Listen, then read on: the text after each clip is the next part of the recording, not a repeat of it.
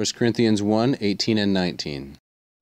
Ha logos gar, ha tu tois men apalumenois, moria estin, tois de sozomenois he men dunamis theu estin, gegraptai gar, apalo ten sophian ton saphon, kai ten sunasin ton suneton athe teso.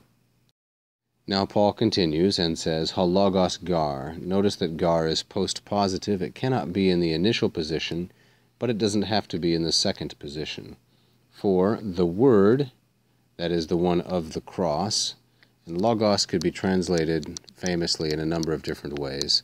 Calvin chooses to translate it as sermo in John 1, whereas Jerome takes it as verbum. It means speech not so much recorded speech, but the act of speaking. At least that's how it's typically taken. But logos here could mean message. For the message, the word, that is the one of the cross, notice the predicate position. To those who are perishing, tois men, tois de. This is a very classical formulation. Tois men, tois de, to some and to others. And it's used with these participles, apalumenois and sozomenois and Paul is establishing a great parallelism here between them. Apalumenois is a participle in the masculine plural and dative, and it is in the middle voice. Sozomenois is in the masculine plural dative also, but it is in the passive voice. So middle for apalumenois and passive for sozomenois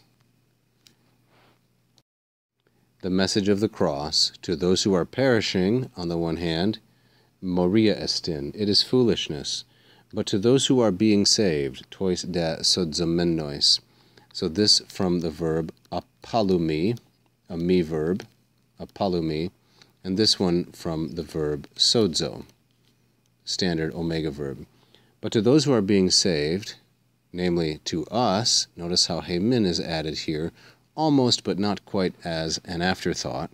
And I believe this is because Paul first draws the general principle and then he draws the specific application, namely that we are the ones who are being saved, including in him in this category both himself and the Corinthians. And now comes the second predicate. The first predicate of logos is moria. The message is foolishness. The second predicate is dunamis. The message is power. It is the power of God, the dunamis theou. And the parallelism is preserved by restating, though not strictly necessary, the verb estin. Estin. Typically in Greek, what is stated in the first clause is omitted in the second. This is somewhat like the English word order and choice. The Latin choice is to omit from the first what is stated in the second but Greek can really follow either quite freely. And here it opts for, Paul opts for, including the verb at the end of both sentences. Or I should say the end of both clauses. And now he gives another reason. So the gar here gives the reason for the first part. This gar gives the reason for verse 17. For it has been written, gegraptai. Notice the reduplication, the lack of thematic vowel.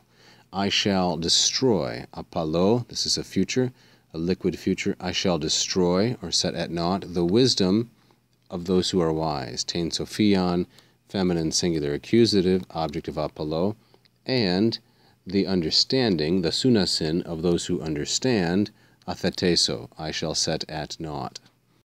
And this from Isaiah 29:14.